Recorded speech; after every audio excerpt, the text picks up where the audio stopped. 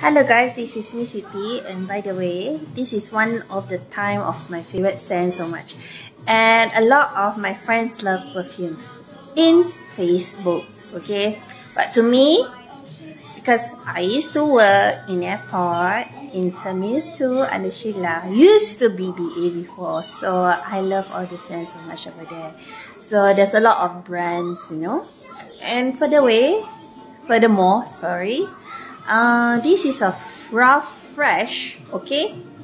Uh, furthermore it can last for three to four hours okay? Uh, it smells like very fresh very floral very sweet you know?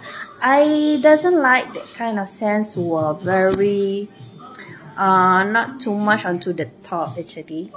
Because I don't like that kind of scents. Is very very heavy.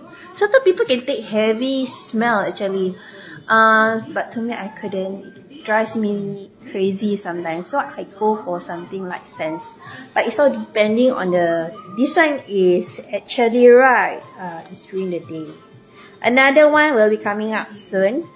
So this one is actually is fresh floral sweets. I like that kind of combination. Certain people like fresh, fresh, like floral, flower like sweet sweet. I'm more into combination into three in one that kind. So wajak lah.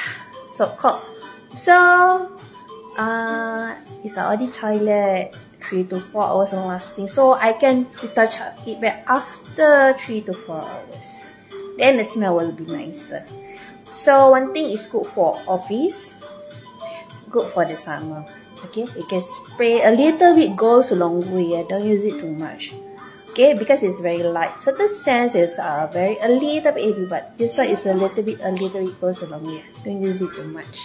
Okay take care. Bye. And furthermore sharing is caring. Take care y'all